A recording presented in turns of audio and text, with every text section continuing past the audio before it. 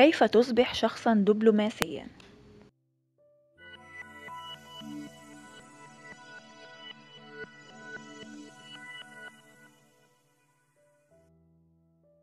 كثيرا ما نسمع عن شخص ما بأنه شخصية دبلوماسية والشخصية الدبلوماسية تعني ببساطة المرونة في التعامل والابتعاد عن شن الخلافات مع الآخرين من الأصدقاء والزملاء والأحبة.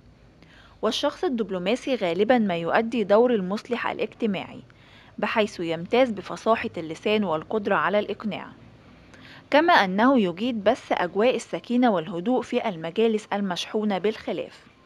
كذلك فإنه موضع ثقة الآخرين يأتمنونه على أسرارهم الشخصية ويستمعون إلى آرائه ونصائحه بكل اهتمام.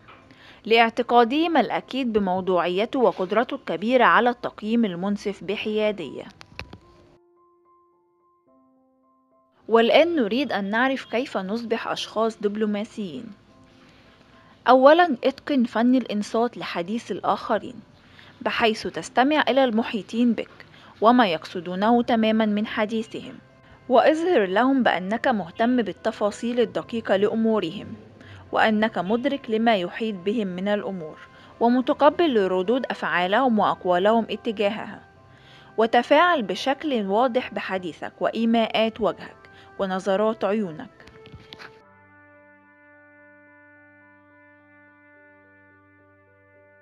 ثانيا بادر بطرح الأسئلة وقت احتدام الخلافات حيث إن توجيه الحوار نحو الأسئلة بدلا من الصراخ وسيلة ناجحة في تخفيف حدة المشكلة وتجعل طرفي الخلاف يتجهون للتفكير العميق بإجابات وافية ومقنعة للأسئلة.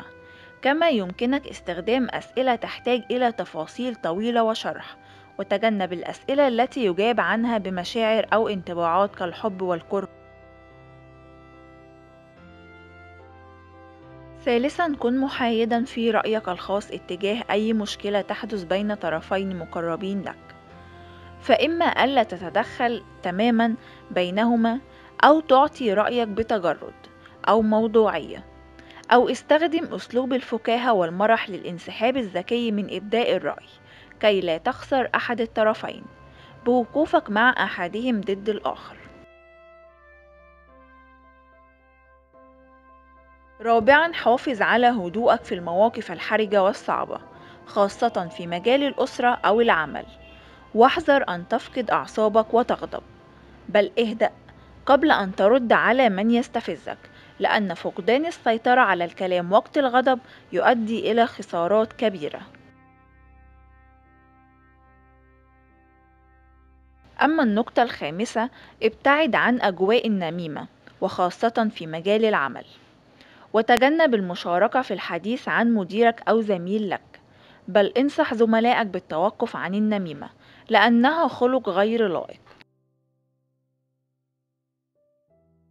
سادسا ضع للآخرين حدودا في تعاملهم معك بأن تكون حازما بلبقة دون استخدام الأسلوب التصادمي.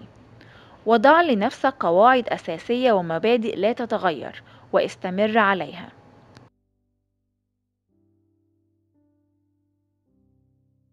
أما النقطة السابعة والأخيرة استخدم لغة الجسد في التواصل مع الآخرين. مثل أن تنظر في عين من تخاطبه وتبتعد عن الضحك المستمر لأنه يعطي الآخرين انطباعا بأنك غير جاد فيما تقول.